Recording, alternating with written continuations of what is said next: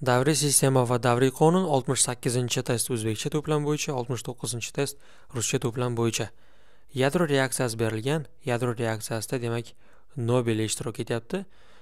Uni kichkinaroq bilan yozishim kerak ozgina chunki kislorodga o'xshab qoladi bo'lmasa. Ho'p hosil bo'lyapti x ta alfa zarracha ikki to'rt va hosil bo'lyapti noma'lum y koeffitsient bilan beta minus bir nol beta demak va kyuri hosil bo'lyapti to'qson olti ikki yuz o'ttiz sakkiz izotopi demak davriy sistemaga qaraymiz bu yerda sm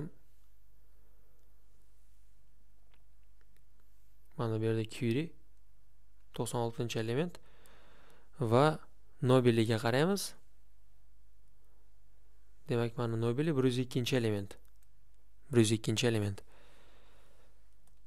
Demak nobelini bu yerda o'zi berilgan ekan bir yuz ikki ikki yuz ellik to'rt deb qaysi izotop ekanligi ham berilgan nobelini. Endi olti yu nol ikki o'n darajasi o'n to'qqiz dona elektron hosil bo'lgan bo'lsa ushbu reaksiyada yemirilgan nobeli izotopini massasini toping. Ho'p bilamizki zaryadlar teng bo'lishi kerak va massalar ham teng bo'lishi kerak. Mana bu strelkadan chap tomondagi va o'ng tomondagi massalar va zaryadlar teng bo'lishi kerak. Va massadan zaryadni ayiradigan bo'lsam neytron qolsa neytronlar ham teng bo'lishi kerak. Massa teng bo'lishi kerak zaryad teng bo'lishi kerak va neytron teng bo'lishi kerak. Ikki yuz ellik to'rt massa strelkadan chap tomonda o'ng tomonda esa 4x plyus bu 0 buni hisoblamasak ham bo'ladi 238. 238 demak agar bu teng bo'ladigan bo'lsa ikkalasi 238 ni ayirish qilib o'tkazaman bu tomonga. O'shanda 16 qoladi bu yerda va 16 barobar 4x qoladi. Shunda x barobar 4 ekanligini topish mumkin. Mana bu yerdagi x ni topdik. 4 ga teng ekan. Demak massa o'n olti bo'ldi zaryad sakkiz bo'ldi. Bir yuz ikkiga sakkizni qo'shadigan bo'lsam bir yuz o'n bo'ladi. Demak to'g'rimi? A lekin to'qson olti kyuri mana bu yerda. Ha yo'q.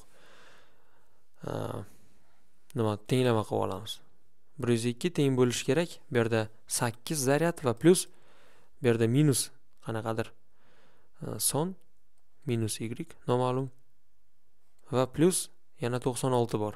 Agar to'qson oltiga sakkizni qo'shadigan bo'lsam nechi bo'ladi?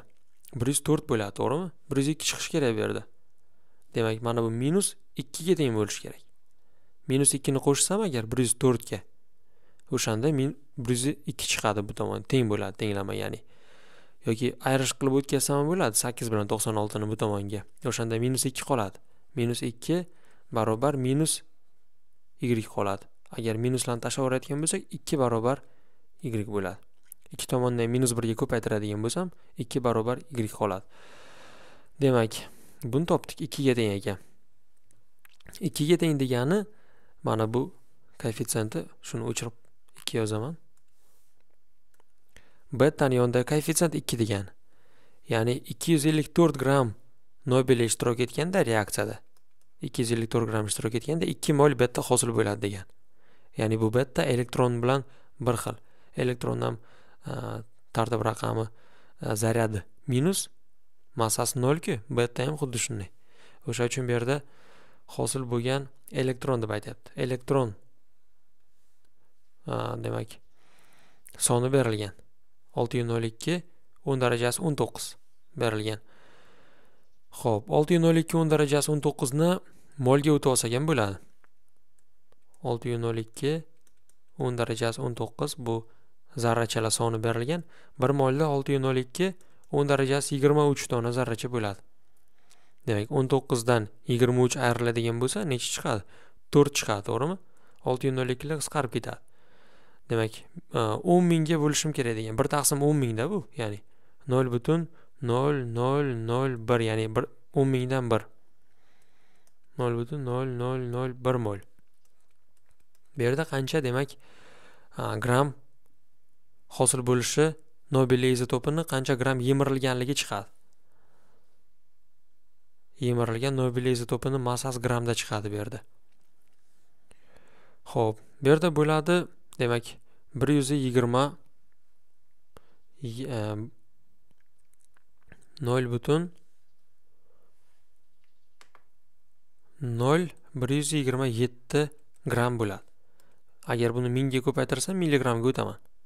Mingga ko'paytirsam uchta vergul demak so'raladi bitta ikkita uchta.